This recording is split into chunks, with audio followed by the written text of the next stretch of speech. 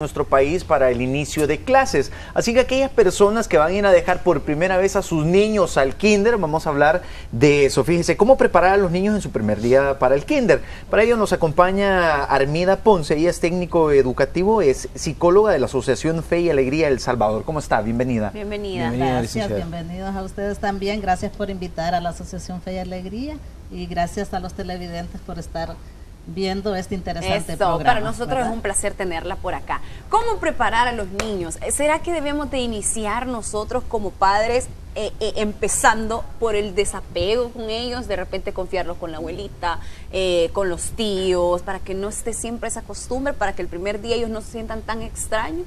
¿Será por ahí también? Sí, es importante lo que usted está mencionando ya que el primer día de clase es normal que los niños y las niñas y especialmente las mamás y los papás entremos en un momento de eh, emociones encontradas, ¿verdad? De la inseguridad, el, como mamá nos podemos sentir culpables de ir a, a, ese desapego, de alejarnos de nuestros hijos en el primer día. Entonces tenemos que tener mucho cuidado en ese aspecto, ya que los niños tienden a sentir las energías y las emociones que nosotras estamos manifestando y ellos pueden utilizar esa parte y sentirse más ansiosos y nerviosos en ese aspecto. Licenciada, y solo quiero, por experiencia propia, digamos, con, lo, con, con, los niños que yo he visto cuando llegan a los kinder y los llegan a dejar, muchas veces no es ni el niño el que esté, está llorando, sino que la mamá enfrente de la, de la maestra que lo está entregando.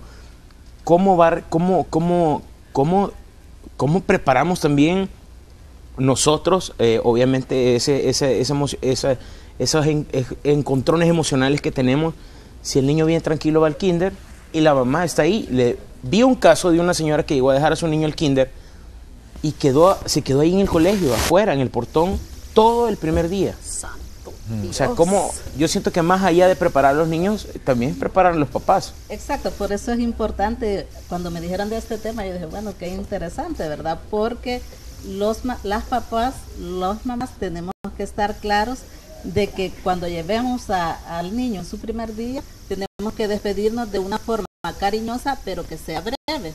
¿Verdad? Por lo que ustedes normal. están manifestando. Normal, normal. Se despide muy cariñoso en su beso y se retira.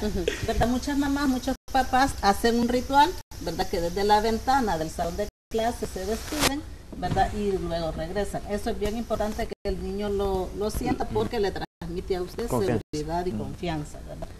Si el niño, por ejemplo, de cuatro años, eso le va a pasar, lo más va a durar 20 minutos, media hora, ¿verdad? Para que va a llorar lágrimas y eso, pero le va a pasar. Eso le iba a decir, perdón Henry, ya te doy la palabra, eso le iba a decir de que los maestros están tan acostumbrados a eso, obviamente, que, que como decía el pediatra de mis hijos, no lloran sangre, o sea, no le va a pasar nada. Entonces, el caso extremo de la señora que comenta Luciano, los, los maestros ni siquiera hablan, o sea, ya cuando es algo que ya no se puede controlar, pues obviamente sí, pero desde lo normal, o sea, una lloradita hasta se quedan tranquilos. Es cierto, al niño le va a pasar, a la niña le va a pasar 20 minutos lo más que va a llorar. Se mortifica más el padre de familia. Exactamente, entonces usted tiene que retirarse tranquilamente y si usted va inseguro, pues tiene que ponerle, decirle al niño, mire, voy a llamar dentro de media hora, una hora para saber que usted está bien, yo voy a regresar, ¿verdad?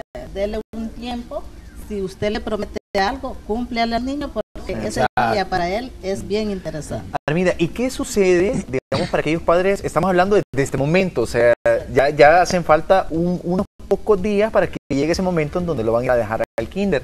Pero ahora, ¿cómo se tienen que preparar desde el hogar? ¿Qué decirle al niño? ¿Qué va a ir a hacer? Porque muchas personas, o sea, nada más le dicen, va a ir al kinder y se esperan, se esperan hasta eh, ya el, el, último, día, para decirle, miren, que va y ya no, no, se preparan. Pues entonces, desde este momento, ¿qué se le dice al niño? Es importante que usted prepare al niño o a la niña desde dos o tres meses antes con anticipación.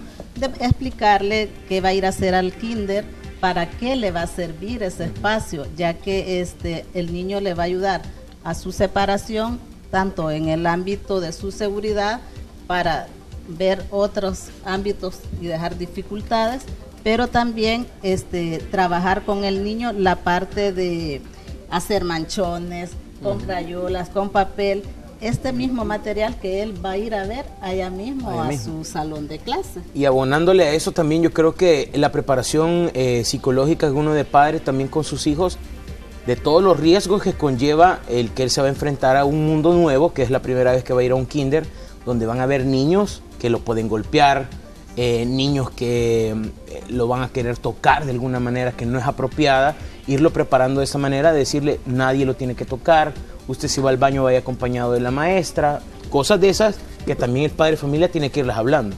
Es importante todo lo que ustedes están mencionando, ya que también tres días antes se recomienda que tres días antes de que su hijo o su hija vaya a su salón de clase, eh, usted lo lleve a la escuela. Si es por primera vez que el niño va a conocer, tiene que conocer su salón de clase, antes, a su maestro, por lo menos tres días antes para que él vaya conociendo el ambiente y no sienta este ese lugar con miedo. Ahora, esto